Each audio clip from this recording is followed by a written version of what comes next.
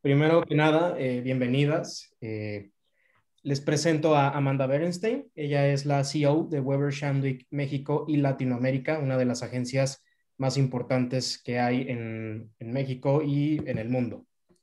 Eh, Amanda tiene ya demasiada experiencia dentro de este ámbito, dentro de este campo laboral, que obviamente a nosotros nos interesa mucho, ¿no? Lo mencionaba al, inicio de esta sesión, eh, la comunicación organizacional y las relaciones públicas son primas, ¿no? Eh, van de la mano. Entonces, eh, es muy importante que tengamos la visión de una persona que aplica todas estas cuestiones que a nosotros nos están enseñando día con día y que obviamente nos dé e, esa guía que nosotros necesitamos también para que cuando entremos a la jungla, como le dicen, o, al campo laboral estemos bien preparados, ¿no? Entonces, para mí es un honor tener a, Amanda Berenstein aquí. Eh, y bueno, Amanda, este, quisiéramos eh, comenzar eh, desde el punto de vista tuyo, de las relaciones públicas. ¿Cómo inicias? ¿no? Sabemos que todos los, los CEOs, todos los directores tienen un comienzo, tienen un punto de partida, ¿no? Eh, yo tuve el honor de, conocerte en un evento eh, especializado en relaciones públicas. Digamos que ahí fue el comienzo, pero nos gustaría que nos platicaras tú. ¿Cuál fue tu comienzo? ¿Desde, desde, dónde inicia Amanda este, este amor y esta pasión por las relaciones públicas? Muchas gracias, Alex, y, gracias a, la Universidad de la Comunicación y sobre todo justamente a, a comunicación organizacional, que si me preguntaran ¿Qué comunicación es la más relevante en estos momentos a partir de la pandemia? Sin duda, la comunicación organizacional. Y voy a tocar ese tema un poquito más adelante, pero me parece muy relevante el hecho de que revaloramos la comunicación a nuestros empleados, a nuestra gente, y de alguna manera todas las empresas nos volvimos empresas de salud, teniendo que abordar temas de gestión, de salud mental, de salud personal, de cuidados adicionales. Entonces, eso, eso para mí se me hace eh, el primer gran em, hallazgo que tuve, el poder y la importancia de la comunicación organizacional. Pero, pero con respecto a mis inicios, em, yo, yo empecé como analista de prensa en comunicación social de Vicente Fox, inclusive eh, estando, yo estudié en otra universidad, em, Relaciones Internacionales, y eh, en la planilla invitamos a todos los candidatos y el candidato Fox su persona de comunicación estaba buscando a alguien que hablara inglés para ayudar con los corresponsales internacionales y me sumaron a la campaña. Literalmente mi, trabajo era mandar todas las comunicaciones de la campaña a los corresponsales de España, eh, Estados Unidos, Canadá, Francia y demás países que tenían eh, presencia en México. Y así empezó mi, mi vida en la comunicación. Estuve tres años en comunicación social de, y en prensa internacional del gobierno de Fox. Después estudié una maestría en políticas públicas y regresando decidí que el gobierno era demasiado inestable, ¿no? Y que dependía poco de resultados y mucho de, de quién conocías, que me salí del sector público y me pasé a comunicación el sector privado. Entonces, em, si les parece, arrancamos, Alex, y después podemos abrir la sesión a preguntas y respuestas. Se vale todo tipo de preguntas, esa es la intención, esa es la idea de tener estos intercambios. Eh, bueno, em, la conversación y la presentación de hoy es el poder de las relaciones públicas. Me encanta la idea de poder desmitificar lo que significan las relaciones públicas que tiende a ser una, ¿no? Tener una noción un poco superficial de eventos y lanzamientos y realmente eh, que ustedes entiendan el impacto y el poder que tiene la comunicación en nuestra vida diaria. Bueno, ¿qué es lo que hacemos? Eh, motivados por los cambios en los consumidores, satisfacemos la necesidad de contar historias. Nunca antes había sido tan importante, tan relevante, eh, pero sobre todo más retador ser significativo en la vida de las personas a través de las historias. Y eso es a lo que nos dedicamos nosotros.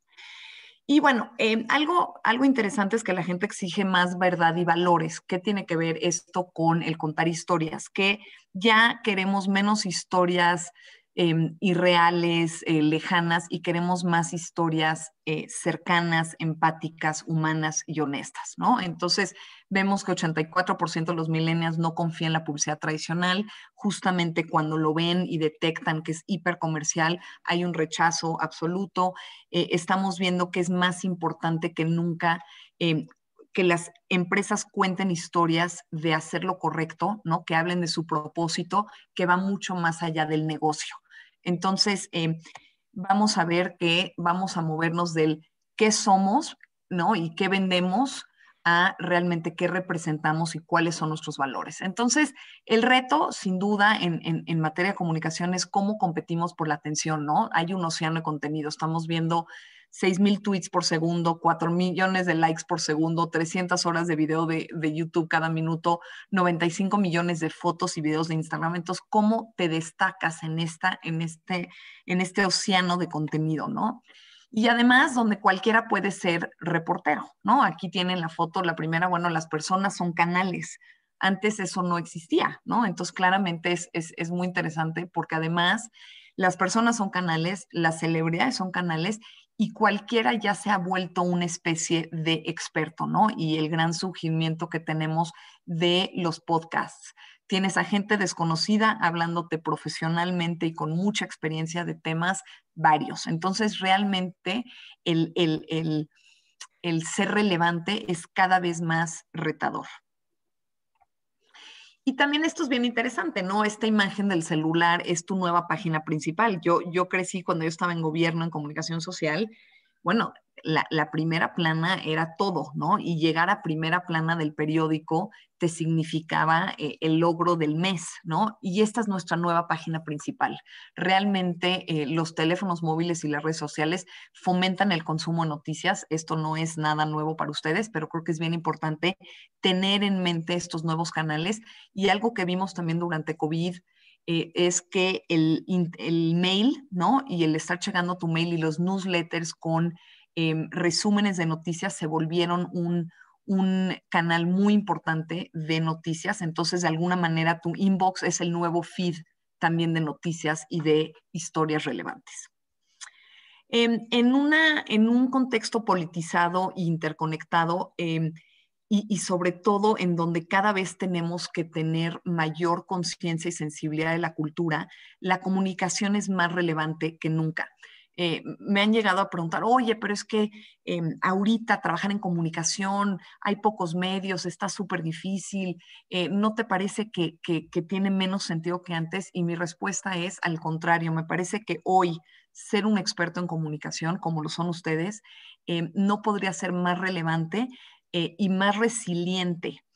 creo que algo que también, otra reflexión, y disculpen mis reflexiones de pandemia, pero otra gran reflexión que, tuve es el valor de la comunicación se mantuvo. Así como hubieron empresas y, y, giros de negocio que se vieron muy impactados, la comunicación se mantuvo tan relevante y tan significativo que nunca. Entonces, siéntanse muy orgullosos que un experto en comunicación, comunicación organizacional, realmente tiene un valor agregado y una carrera garantizada en este, en este momento. Em, pero creo que algo que es bien interesante y que nos diferencia mucho a los que vemos eh, la comunicación y los que hacen publicidad es que los publicistas piensan mucho en estas big ideas, ¿no? El famoso big idea, este, este chispazo de creatividad. Y los comunicólogos o los que estamos en, en, comunicación y relaciones públicas tenemos que pensar mucho más en whole ideas, que tiene que ver con considerar el contexto y la cultura que nos rodea. Hoy no puedes lanzar eh, una historia, un anuncio, una, alerta a los medios, si es algo que, no hace sentido con la comunicación y la cultura, ¿no? Y aquí hay tres ejemplos que me parecen muy oportunos justamente para explicar este punto. HM tuvo una crisis de comunicación súper relevante, no sé si se enteraron, eh, con esta imagen, ¿no? Entonces, esto no es solo una sudadera, claramente ellos no se dan cuenta, suben, suben la sudadera y bueno, les empieza a llover eh, claramente muchísimos comentarios negativos con respecto a temas de discriminación e inclusión. Entonces, ese tipo de cosas tenemos que tener una mayor sensibilidad que nunca. Eh, el caso de Audi es un comercial que justamente se lanza en, el momento de Super Bowl. Como ustedes saben, Super Bowl es como el clímax de, los comerciales y la comunicación para muchas marcas en Estados Unidos. Y Audi decide que en este momento eh, clave va a sacar una campaña en donde una mujer está eh, manejando un coche de Fórmula 1.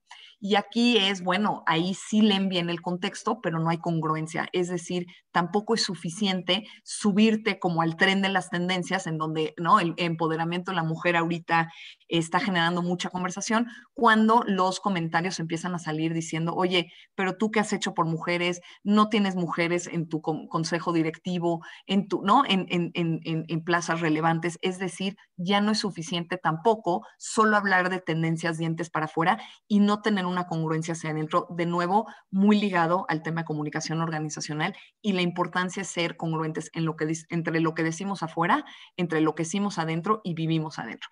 Y el último caso, que es de mis casos favoritos, es un caso que ganó en Cannes en el, en el Festival de Creatividad hace dos años, tiene que ver con un manejo de crisis. Dos años.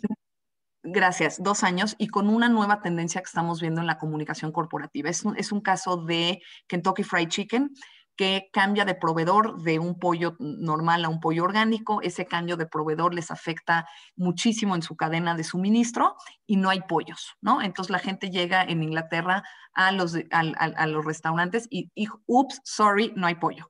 Y bueno, se genera una cantidad de conversaciones en redes sociales abismal y la marca, en vez de esconderse, en vez de negar la situación, sale con un anuncio en prensa. Esto además fue muy interesante. El canal que eligen es un desplegado en los principales periódicos de, de Inglaterra, en donde hacen un juego entre FCK ¿no? y KFC, ¿no? FCK the fuck, y dicen, la cagamos, perdónenos, y de verdad no era nuestra intención y les pedimos una disculpa. Y no les puedo explicar la, la generación de conversación orgánica que crea una comunicación honesta en donde pedir perdón difícilmente puedes criticar a alguien que pide una disculpa.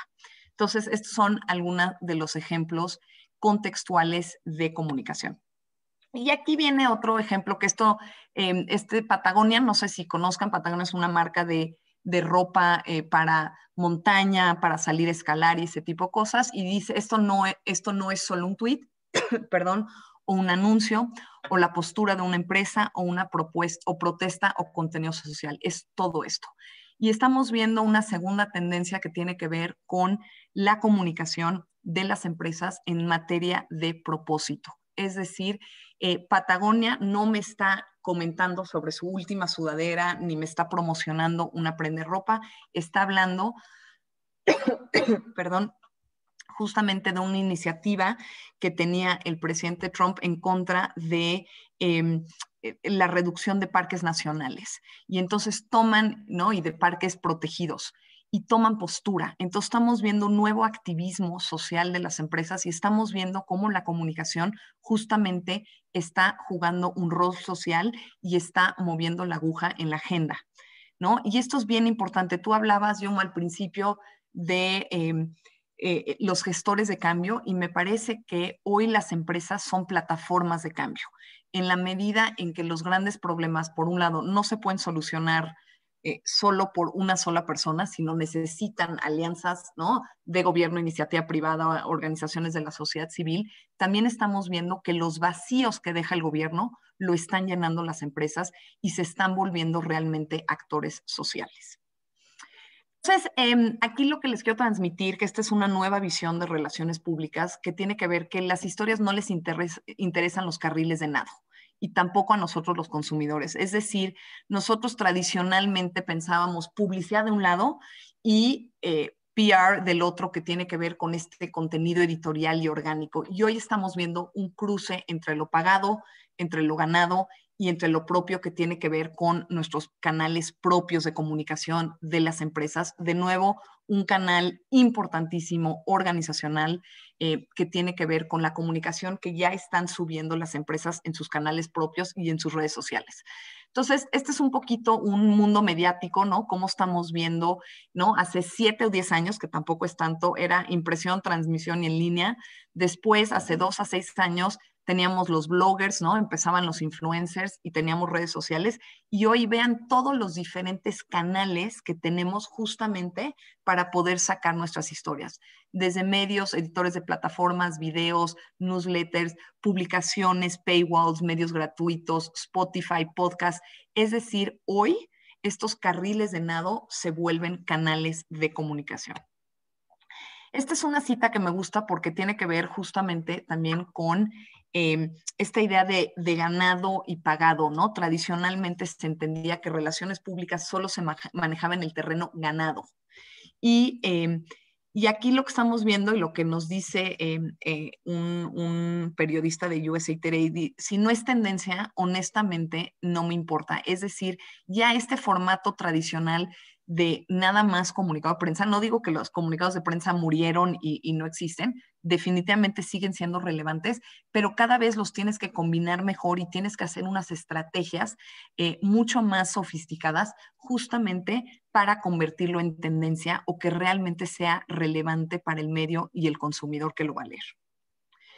Entonces, eh, mi primer gran conclusión es olviden el posicionamiento y piensen en movimiento. El gran reto de las agencias hoy de relaciones públicas es que en un ambiente mediático hiperconectado, Em, realmente lo que queremos es que nuestras historias viajen, ¿no? Que viajen en muchos canales de forma simultánea. Ya no solo es posicionar, ¿no? Las seis columnas en el periódico Reforma, es cómo está en el punto com, cómo está en la fotogalería, pero también es una nota, pero también salió un impreso, pero también está en sus redes sociales. ¿Cómo hacemos que nuestras historias viajen?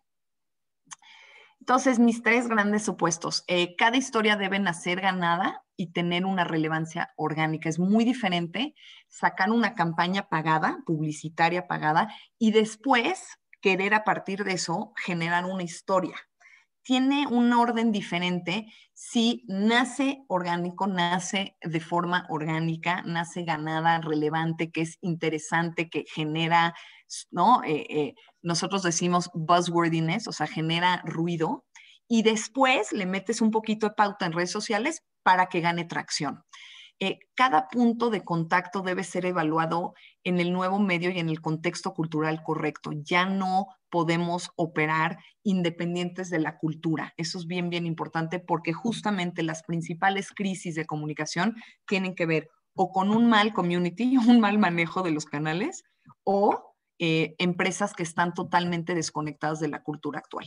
Y cada historia debe mostrar que somos una empresa con un propósito que va más allá del negocio, mostrando empatía, valores y honestidad. Esa es la nueva narrativa corporativa, que solo además se exponenció en COVID de una forma impresionante.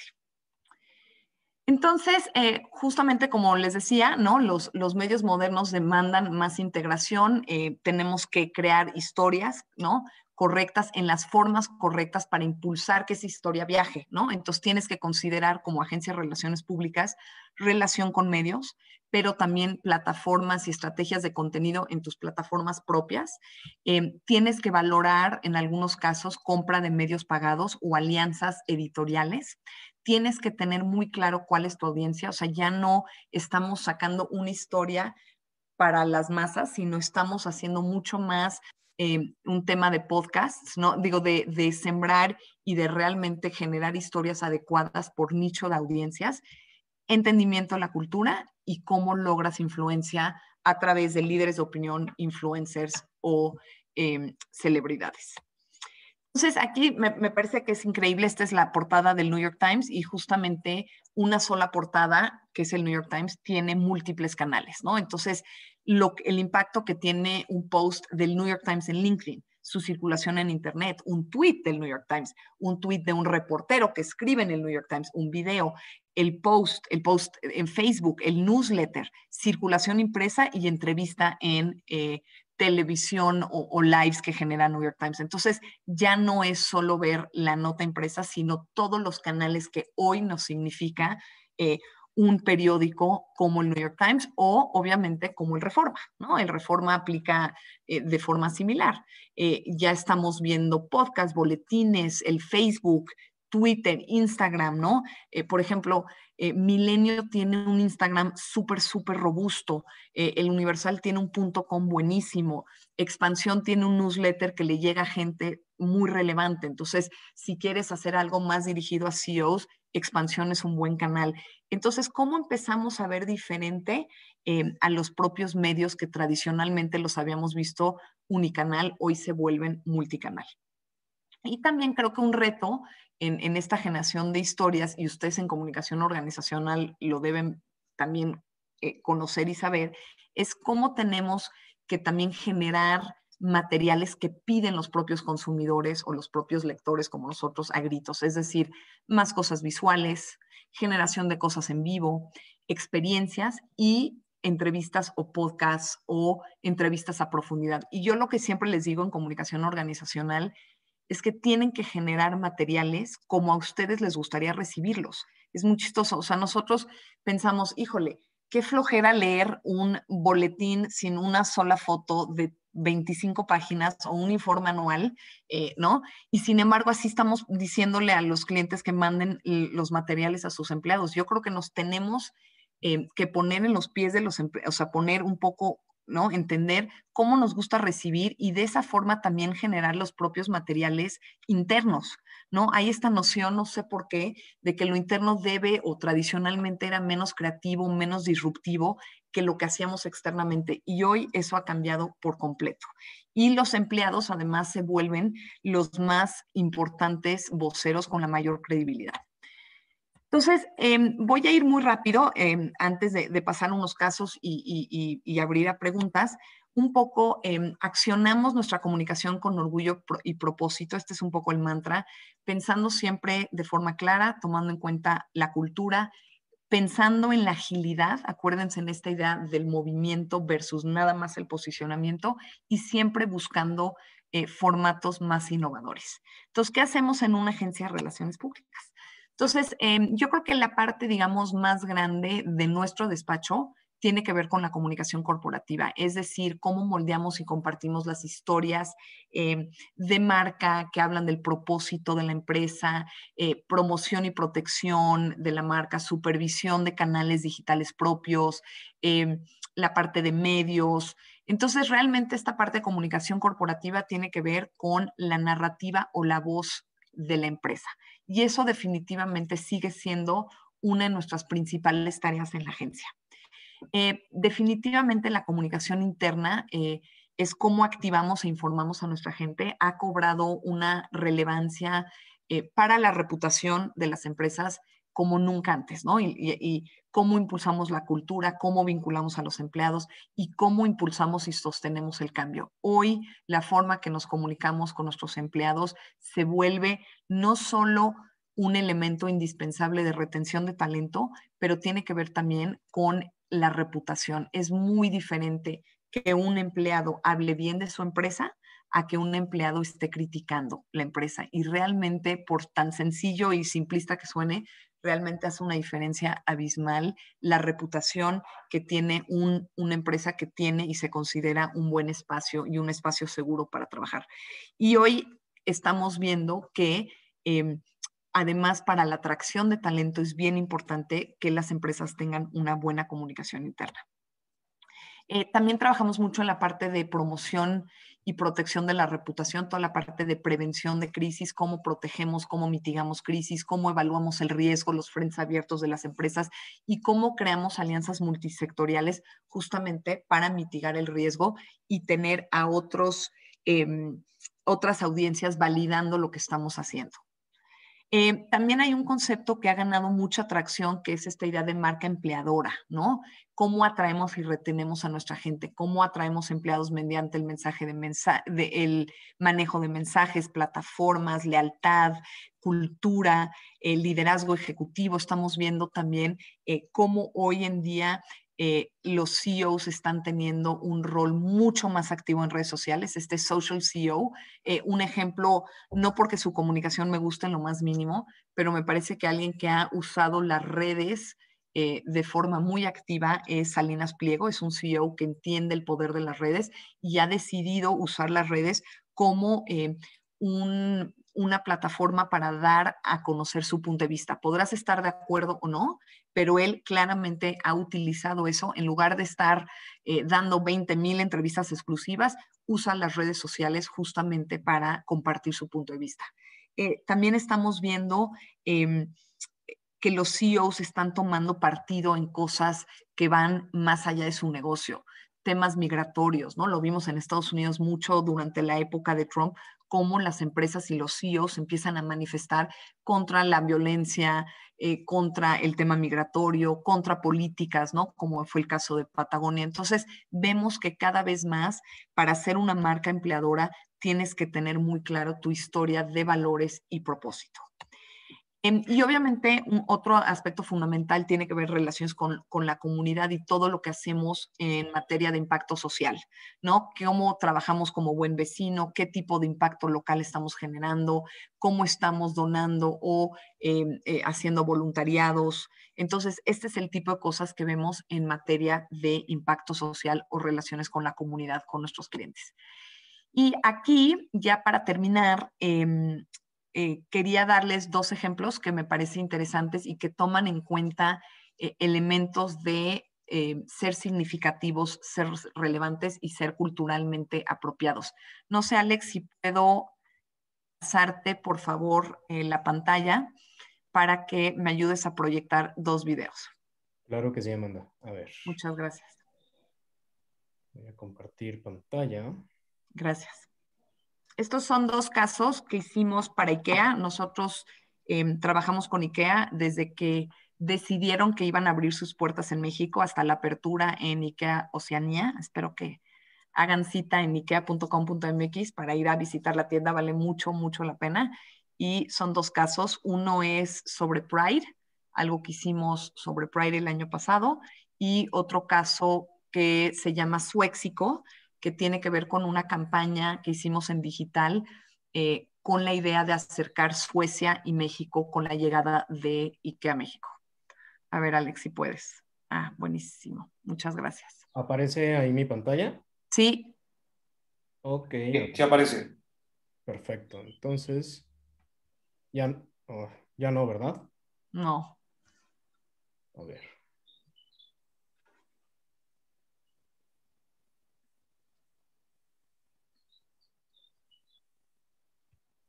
Voy a ver si. Espérenme, si no, yo también lo, tengo. Espérenme. A ver, ¿eh? A ver. ¿Sí? Sí. Súper.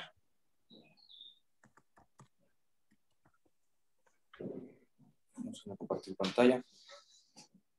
Ahí se está compartiendo. Perfecto.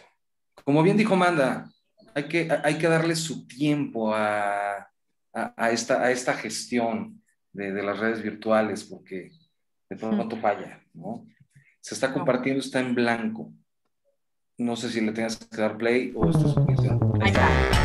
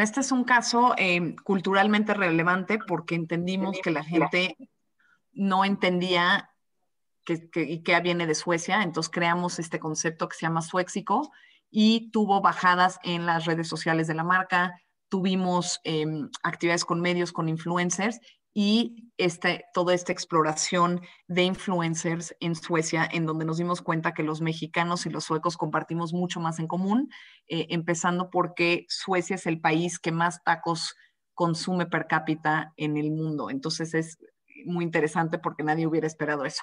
Entonces, ese es un caso y podemos eh, mostrar el otro video, por fin. Claro que sí, allá va.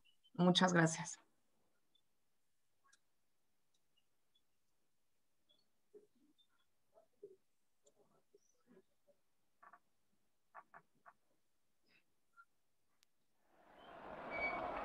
Just means that we can walk the streets as ourselves and not be harassed by anybody and just be ourselves. Be proud to be ourselves. All I know is I'm gay and I'm proud and I worked for it and I'll continue to work for it until the day I die. I don't know, it just means that I'm glad to be what I am.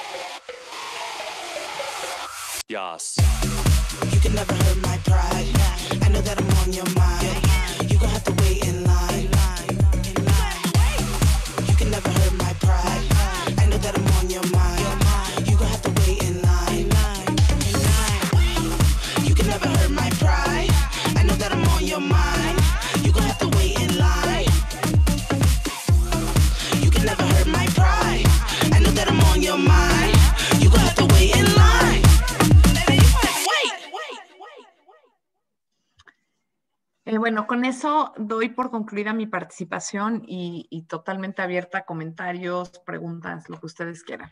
Muchas gracias.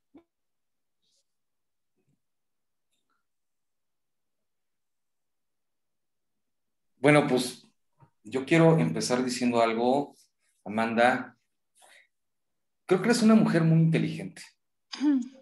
Definitivamente porque creo que has encontrado gestión de cambio, como tú decías, plataformas de cambio, eh, y eso es bien importante, ¿no? O sea, yo creo que lo que nos aportas esta tarde, pues al final de cuentas, además generosa, porque es una invitación a que juguemos a hacer cambio. Esa, Esta es la parte como que importante, ¿no? Y, y, a final de cuentas, yo creo que una de las cosas que, que nos heredas en esta pequeña tarde, y ahí ahora sí que abro un poquito la dimensión eh, de las preguntas, de las respuestas, pues es que creo eh, que eres una mujer que también ha crecido en esta... Sí, sí, sin duda. Has encontrado un, un equilibrio buenísimo, ¿no? Y eso nos hace honestos a todos, ¿no? Ahorita que hablamos un poquito en la introducción de la reingeniería humana, y lo decía en serio, ¿eh? O sea, decía que esta parte, tú también te has reinventado y eso te permite reinventar a los otros. Poderle decir, bueno, partamos del mismo punto. Esta honestidad con la que, con la que manejas, por ejemplo, a tu equipo, pues creo que, creo que es súper valioso. O sea, creo que, creo que le da muchas posibilidades a dimensiones. Y creo que una de las preguntas que te iba a hacer es cuál es la táctica de Amanda, cuál es la estrategia. Pero, pero eres muy nítida, eres muy clara en esta parte, ¿no? Pero sí me gustaría preguntarte, ¿por qué no? Cuál es la táctica, cuál es la estrategia que, hoy posiciona Amanda, ¿sí? Con este discurso tan fresco, con este discurso tan propio, porque aparte eres muy genuina y eso creo que te lo agradecemos, ¿no? O sea, las personas que estamos aquí hoy nos llevamos un aprendizaje que en 30 minutos, sí, pudiste explicar lo que muchas personas a veces no nos pueden explicar, no sé, en horas y horas de capacitación. Y eso pues, te hace genuina. ¿Cuál es la táctica, cuál es la estrategia que hoy define Amanda? Eh, bueno, eh, bueno, muchas gracias por, tus comentarios. Yo, yo creo que em, aprendí dos cosas claves en, esta, en, este, en este año como de mucha reflexión. Una es conocer tu, tu, resiliencia personal, ¿no? Todo el mundo habla mucho de la resiliencia como este factor externo de las ciudades, ¿no? La resiliencia urbana y tal. Y creo que entender mi, mi, resiliencia personal, ¿no? Qué tanto em, puedo, puedo manejar el estrés, qué tanto puedo manejar las situaciones eh, ajenas, qué tanto puedo ayudar al equipo a sobrellevar eh, un, un, año tan difícil. Entonces creo que medir esa fuerza interna fue, fue muy interesante. Y dos, creo que la combinación, ¿no? Todo mundo habla de balances y equilibrios y yo creo que este año nos trajo un nuevo sentido o concepción de, de combinación, ¿no? En mi caso, yo tengo tres hijos y, todos estudiando en casa, ¿no? Entonces, ¿cómo combinaba eh, el trabajo y la vida familiar antes y ahora es totalmente diferente, ¿no? Antes, eh, si un hijo me interrumpía en una llamada, le daba un codazo, lo mandaba, ya sabes, lo sacaba eh, apenada, traumada, y hoy me parece que esa combinación es muy diferente, ¿no? Hoy hasta mis hijos saludan luego, son parte de, están enterados de lo que vivimos en la agencia, entonces creo que esa combinación para mí ha sido súper rica. Em, en términos de, de, de mantra, digamos, como, agencia, creo que eh, todas las agencias te dicen que lo más importante son los clientes y que se deben a sus clientes. Yo creo que em, nosotros nos debemos a nuestro equipo.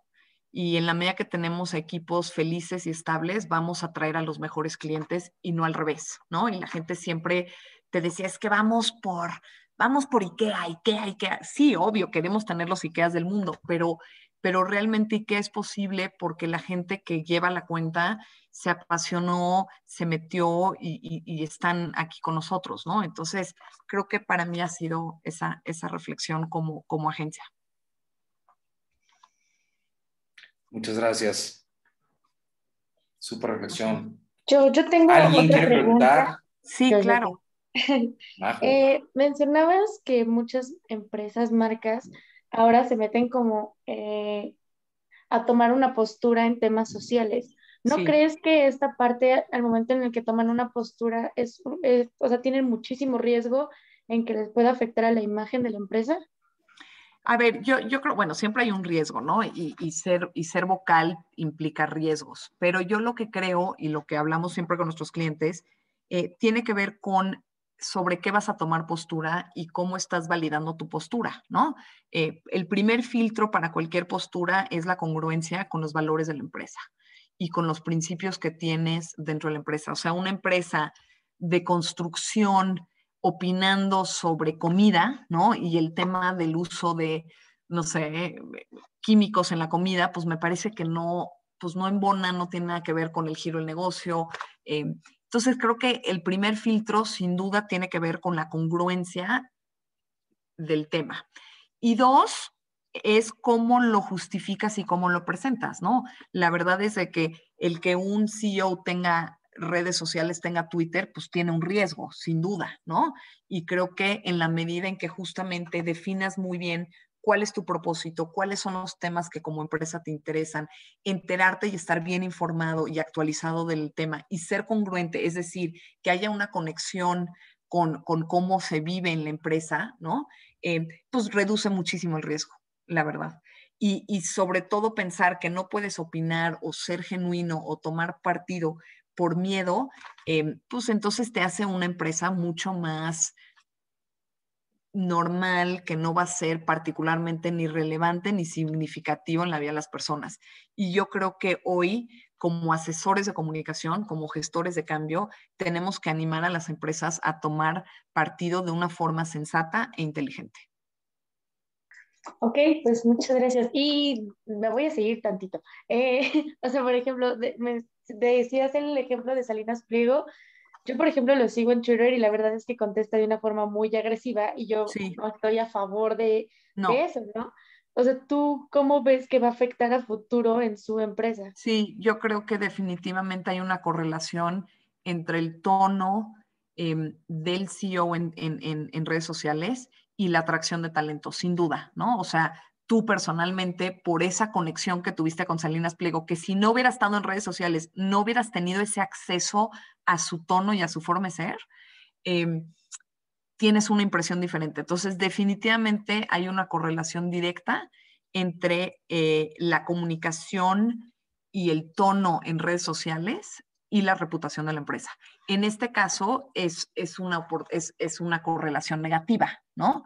Eh, pero hay casos, por ejemplo, la, la CEO de GM, de General Motors, que es una mujer en Estados Unidos, ha usado Facebook y ha usado redes sociales justamente para escuchar a los empleados, se ha vuelto un canal de comunicación para además compartir políticas importantes para la empresa, para, dar, para darse ella a conocer y qué es lo que le importa. Y eso ha hecho eh, no solo que se posicione mejor como CEO, sino que también posicione a GM en ámbitos y en temas que tradicionalmente no se había asociado. Entonces, yo creo que un buen manejo de redes sociales es una gran oportunidad reputacional y sobre todo es una gran oportunidad de atracción de talento. Ok, pues muchas gracias. De nada. Hola Amanda, ¿cómo estás? Linda tarde. Gracias. eres muy joven y seguramente lo recuerdas muy bien. ¿Cómo tomaste la decisión de estudiar esto? ¿Qué te gustó? ¿Qué te motivó? ¿Quién te, quién te ¿Quién te deslumbró? ¿Quién fue tu, tu agente de, de, admiración? Cuéntanos. Quizás no sea la, mejor respuesta eh, para, este foro, pero em, yo creo que yo estudié relaciones internacionales eh, justamente porque me, me interesaba mucho eh, la vinculación, o sea, esta idea de representar, ¿no? De, representar a México. Yo, yo quería en un inicio em, trabajar en la Secretaría de Relaciones Exteriores, Secretaría de Turismo, ¿no? Entonces esta idea de representar a México me, me atraía mucho. Y dos, eh, no tenía toda la parte cuantitativa que me aterraba, ¿no? Que era la parte de las matemáticas. Entonces relaciones internacionales me parecía como una muy buena combinación entre, entre vinculación y... Em, y la parte, digamos, soft, ¿no? Versus la parte de data, ¿no? Y, y todo eso. Entonces, e, eso creo que fue una motivación y decidí estudiar una maestría porque me pareció que la carrera de Relaciones Internacionales acabó siendo como muy generalista, entonces sentí que necesitaba eh, especializarme, me especialicé en políticas públicas. Em, entonces, no, no muy relacionado con comunicación, pero creo que lo que me dio la carrera y la maestría, em, eh, la, la, carrera me dio el tema de vinculación, o sea, la, la, diplomacia y las relaciones públicas tienen mucho más en común, ¿no? En términos del trato, de la gente, el estar cerca de la gente, el cuidar a la gente. Y la parte de políticas públicas me dio más una formación analítica que me hacía mucha falta.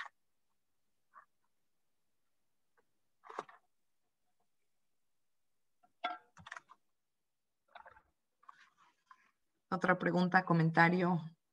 ¿Quién más quiere preguntar? Hola, hola, yo soy Daniela, mucho gusto. Eh, tengo una pregunta un poco extraña, bueno, no sé si extraña para ti o para todos, pero ¿qué le dirías a, a la Amanda que se acaba de graduar? O sea, ¿qué le dirías o qué consejo le dirías? Sí, eh, que va a salir al mundo, o sea, que va a salir de su burbuja y va a toparse con el mundo real. Eh, yo creo, no, me parece, es una muy buena pregunta. Yo, yo creo que, yo creo mucho en el, en el seguimiento y perseverancia. Em, y, estoy convencida que no hay atajos, ¿no? Eh, siento que las nuevas generaciones y cuando salimos de la carrera, yo empecé a trabajar desde muy temprano en la carrera, desde cuarto semestre en la campaña Fox, pero yo creo que esta noción básica de, del respeto a las personas y de que la disciplina y la perseverancia son claves para el éxito, me parece que siguen siendo mi mantra, ¿no? Y, a veces me topo con las generaciones que se están graduando que están mucho más desesperados, ansiosos por cambios constantemente, em, creen que el desarrollo y el crecimiento se les va a entregar, ¿no? Versus, pues, fregarle, ¿no? Y creo que hemos perdido ese, ese respeto por, pues, por la friega que implica el, el crecer y desarrollarte. Qué buena pregunta, ¿eh? Gracias. gracias. Gracias, gracias. No, a ustedes, gracias. Gracias por invitarme. No, pero creo que súper pregunta porque, pues, en retrospectiva, no sé, nos hace pensar muchas cosas interesantes. Muchas gracias, Dani. No, de nada, a ustedes.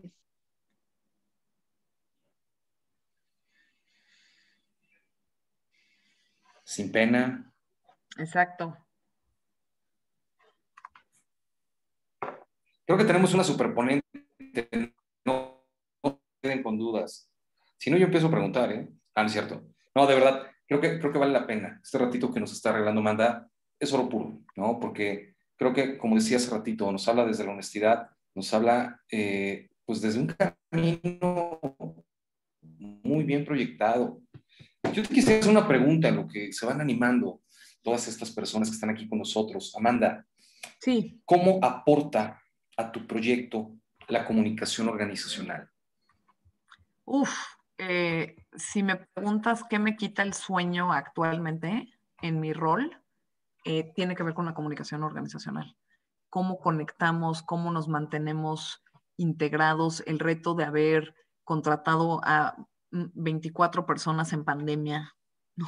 O sea, cómo mantenemos em, un ambiente cuando estamos todos desconectados, eh, cómo hacemos que la gente nueva se sienta parte de un grupo que ya está bastante consolidado, eh, cómo comunico mejor em, los planes de crecimiento, labor, la labor que significa llevar un cliente, darle seguimiento. Entonces, yo creo que hoy, para mí, la comunicación organizacional es un eje estratégico del negocio.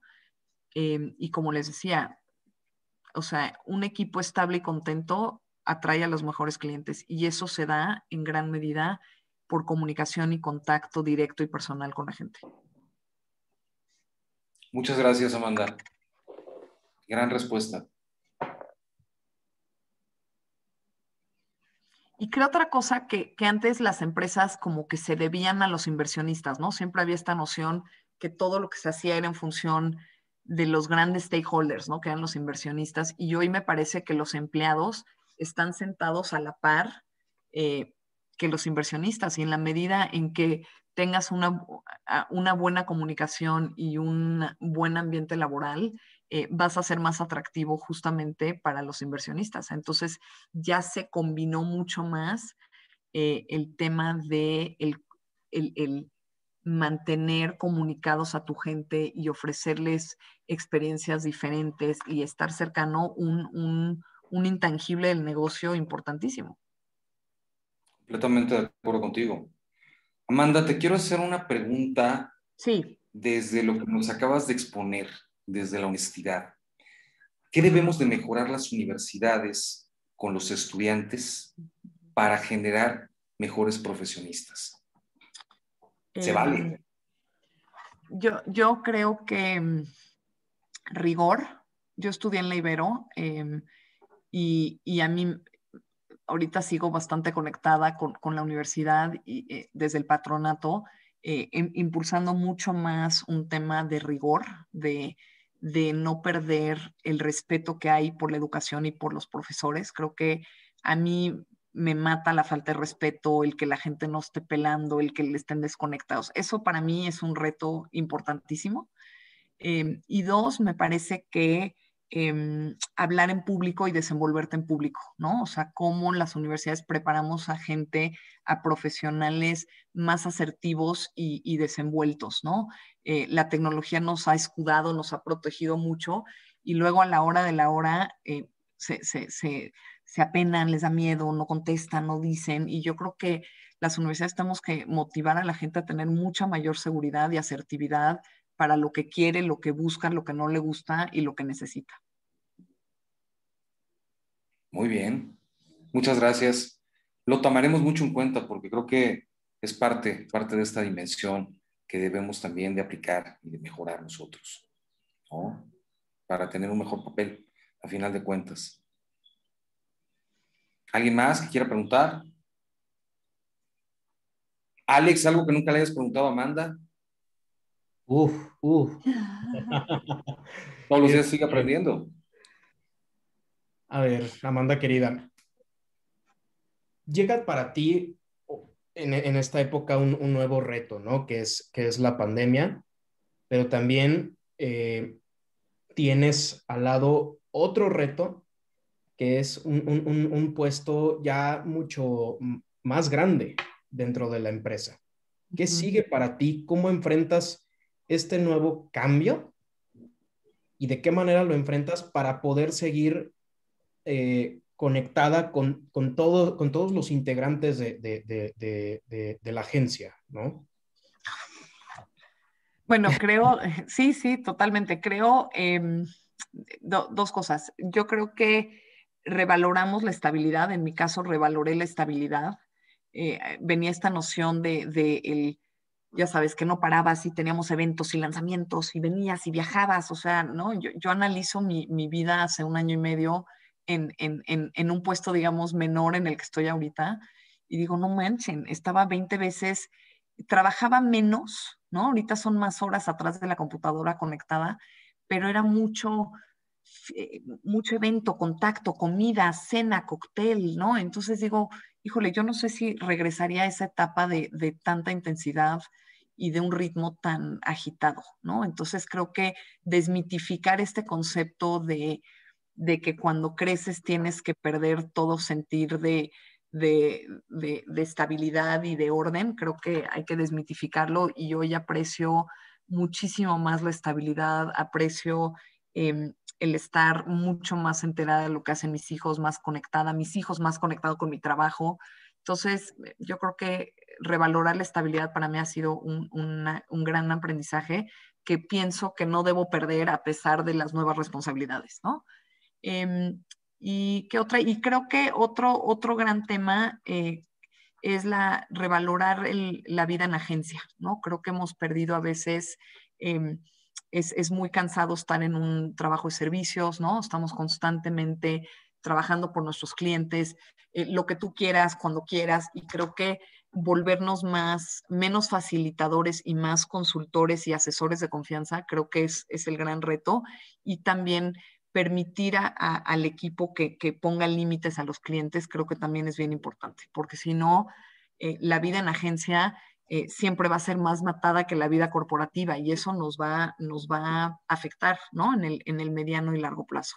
Entonces creo que cómo logramos eh, una mejor combinación entre ser agencia, ser, estar en el mundo de servicios, pero a la vez eh, ser consultores, ser lo que yo llamo creativistas, que tiene que ver con creatividad, creatividad y activismo, ¿no? Cómo, cómo impulsamos y nos volvemos mejores asesores para nuestros clientes. Gracias, Amanda. Muy bien, una última pregunta, damas y caballeros. ¿Quién dice yo?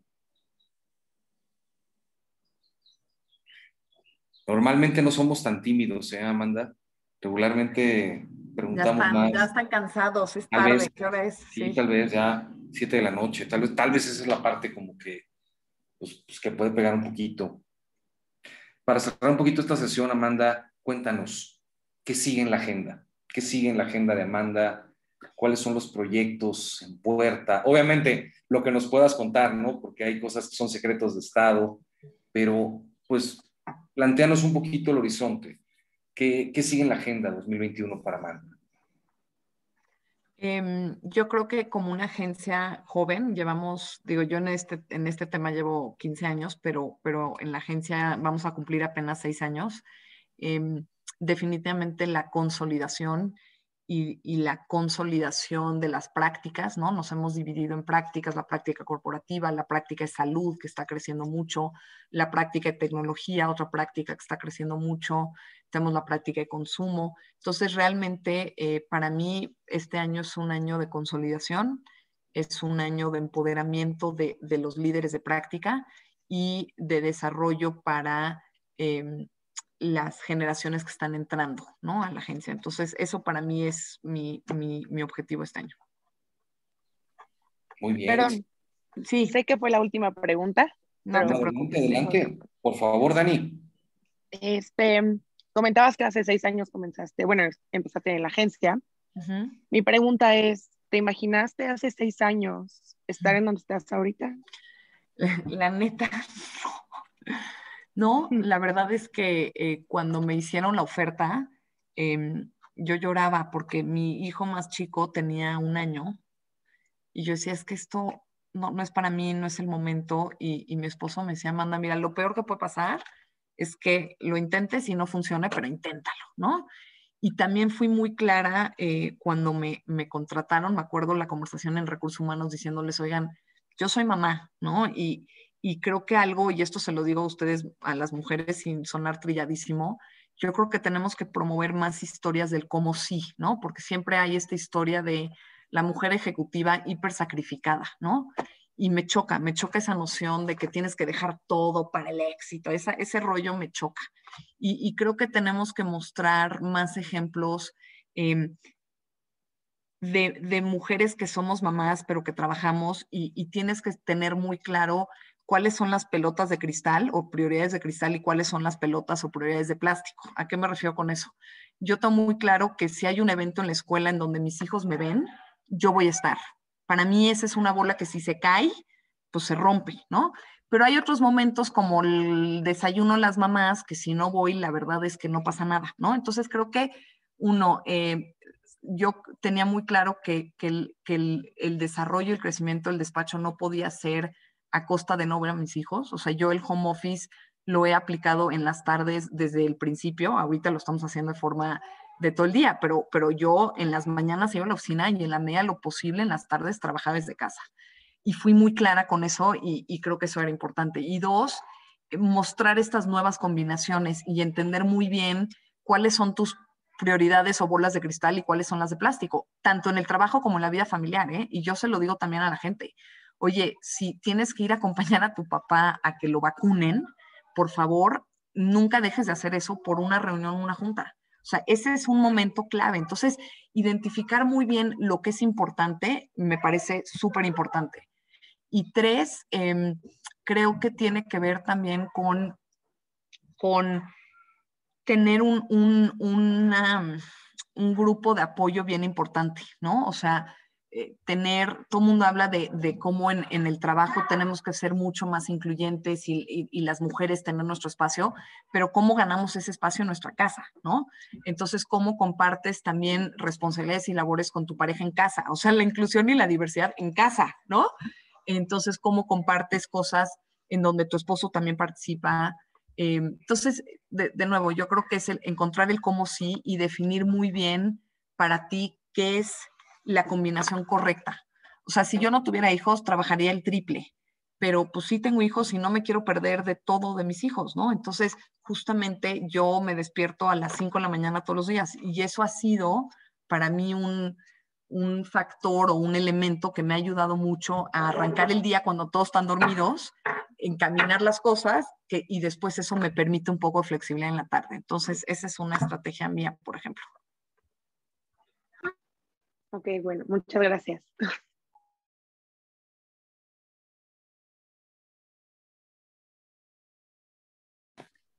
Todavía pasa de que tengo el micrófono apagado. Amanda, muchas gracias. Ha sido, creo, maravilloso el tiempo que nos has regalado. Eres una mujer generosa. De verdad, lo digo de manera particular, ¿sí? Te admiro mucho, ¿sí? Eh, creo que creo que has sembrado un camino de éxito, seguirás sembrando cosas. No nos olvides, de vez en cuando ven a visitarnos, porque creo que... Por favor, justo te iba a decir que, las puertas están abiertas, te, agradezco tus palabras tan bonitas y que te animan y validan, ¿no? Todo el esfuerzo y, cuenten conmigo, eh, de verdad, eh, estoy totalmente abierta, me encanta, podemos organizar otra plática más adelante. Claro que sí. Entonces, definitivamente puertas abiertas, conexión directa y, Alejandrito, muchas gracias por todo lo que haces y por conectarme eh, con tu universidad. Muchas, muchas gracias y estoy a sus órdenes. Venga, muchísimas gracias, a todos. Adiós, bye. Tengan excelente Muchas gracias. Mil, mil gracias. Muchas gracias, Jun. Muchas gracias a todos los que se conectaron a toda la banda que se conectó, muchas gracias, Monse, Mónica, Dani, qué bonitas ideas, qué, qué propuestas. Gracias, gracias. Buen día a todos. Gracias por invitarme, Alex. Love you. Colega, siempre. Te amo. Love, you. Estoy, soy la más orgullosa. Felicidades. Yo más. Muy buenas preguntas. Un beso grande. A todos. Muy, muy buena plática, muy buena plática, muy, muy rica, creo que muy interesante. Y, y bueno, Alex, pues debutaste ya en este tema. creo que muy bien, ¿no? Creo que muy bien en esta parte. Al principio nervios, pero, pero creo que salió, salió bastante, bastante bien y lo más orgánico que se pudo, ¿no? Exacto, creo que fue extraordinaria. Creo que nos vamos todos con una sonrisa, nos vamos contentos, satisfechos. Amanda es una mujer muy generosa, muy inteligente, ¿sí? Ahí, ahí, ahí le cuentas, este, alguna, alguna vez la vi en la Ibero, ¿sí? Su coordinador era César Villanueva, buen amigo mío. Yo di clases en relaciones internacionales, entonces seguramente nos topamos en alguna de esas materias. Seguramente, seguramente. Pero bueno, pues no era el foro para platicar estas partes, era el foro para que se lucieran. Dani, muchas gracias también. Preguntas muy inteligentes, muy, muy valioso. Y pues Hola, mucho gusto. Hola. No tengo el gusto, no tengo el gusto. Justo estudiaba en la UCER.